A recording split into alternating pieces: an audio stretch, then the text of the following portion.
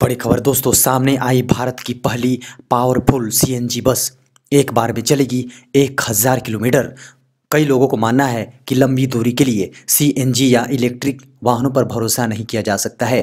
तो अब आपको अपनी सोच बदल देनी चाहिए, क्योंकि भारत में पावरफुल सीएनजी बस आ चुकी है और दावा किया जा रहा है कि ये बस एक बार सिलेंडर फुल होने पर कम से कम एक हज़ार का सफ़र तय करेगी। दोस्तों, पेट्रोलियम एवं प्राकृतिक गैस व इस्पात मंत्री धर्मेंद्र प्रधान ने हाल ही में भारत की लंबी दूरी तय करने वाली पहली सीएनजी बस लॉन्च की। इस बस की सबसे खास बात यह है कि इससे पर्यावरण को किसी भी तरह का नुकसान नहीं होगा। पेट्रोलियम मंत्री का कहना है कि इन सीएनजी बसों को प्रायोगिक आधार पर चलाया जा रहा है। जल्द ही इन्हें कॉमर्शियल रूप में भी शुरू किया जाएगा। खबर दोस्तों सीएए को लेकर मुस्लिम नेता और मौलाना करेंगे।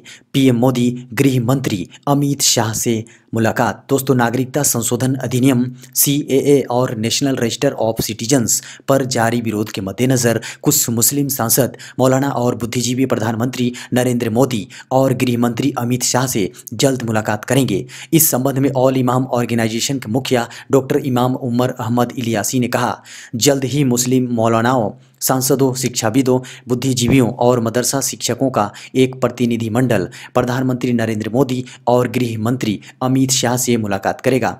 इलियासी ने कहा कि यह प्रतिनिधिमंडल पीएम मोदी और अमित शाह को सी और एनआरसी को लेकर उठी चिंताओं के बारे में जानकारी देगा। दरअसल, नागरिकता कानून और एनआरसी को लेकर राजनीतिक दलों, विभिन्न संगठनों और संस्थानों द्वारा देश भर में विरोध प्रदर्शन का सिलसिला जारी है। बीते सप्ताह जुमे की नमाज़ के बाद पुरानी दिल्ली के जामा मस्जिद में विशाल विरोध प्रदर्शन किया गया।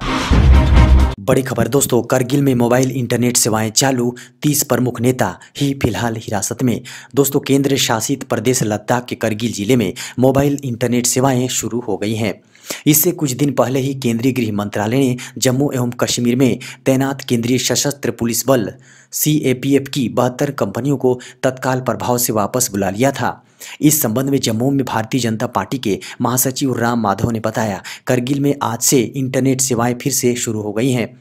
हमें उम्मीद है कि जल्द ही जम्मू क्षेत्र और कश्मीर घाटी में इंटरनेट सेवाएँ फिर से शुरू हो जाएँगी, क्योंकि स्थिति अनुकूल हो गई है। वहीं घाटी में हिरासत में लिए गए नेताओं के बारे में उन्होंने बताया, चार महीने पहले बड़ी संख्या में लोगों को निवारक हिरासत में रखा गया था, लेकिन आज केवल तीस बत्तीस प्रमुख नेता निवारक नज़रबंदी के अधीन है और कुल मिलाकर संख्या सौ से भी कम है।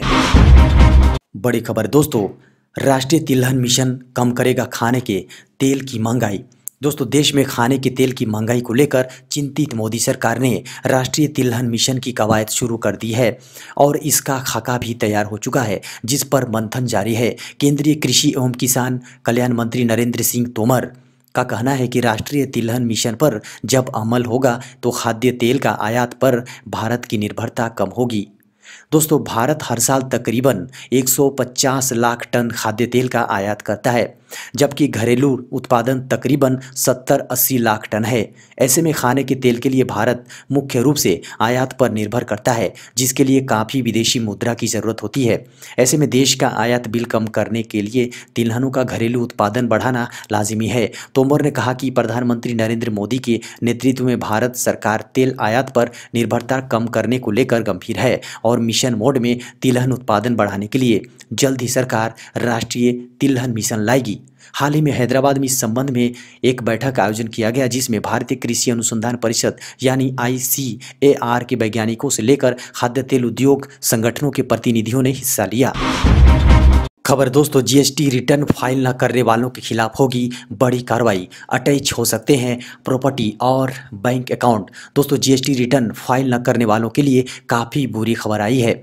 आने वाले दिनों में जो जीएसटी रिटर्न फ़ाइल नहीं कर रहे हैं, उनके बैंक अकाउंट और प्रॉपर्टी को अटैच कर दिया जाएगा। केंद्रीय अप्रत्यक्ष एवं सीमा शुल्क बोर्ड ने स्टैंडर्ड ऑपरेटिंग प्रोसीजर जारी किया है, जिसमें जीएसटी अधिकारियों को नए अधिकारों से नवाजा गया है।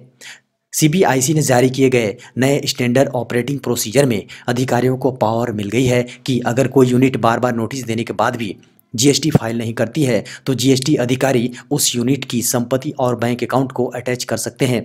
आपको बता दें कि देश में एक करोड़ से ज़्यादा रजिस्टर्ड यूनिट्स रिटर्न दाखिल नहीं कर रही है।